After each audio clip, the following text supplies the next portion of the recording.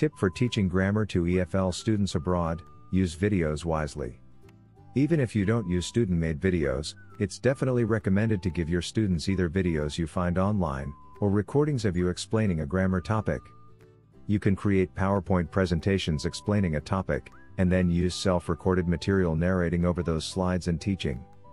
Having grammar instruction in videos does not only help absent students, but it also benefits all the students who need to hear something multiple times before they can remember it, who doesn't.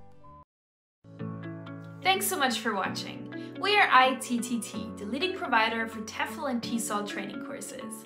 If you like this video, please subscribe by clicking the button down here and click on any of the videos here on the left for more interesting teaching tips for getting certified to teach English abroad and online.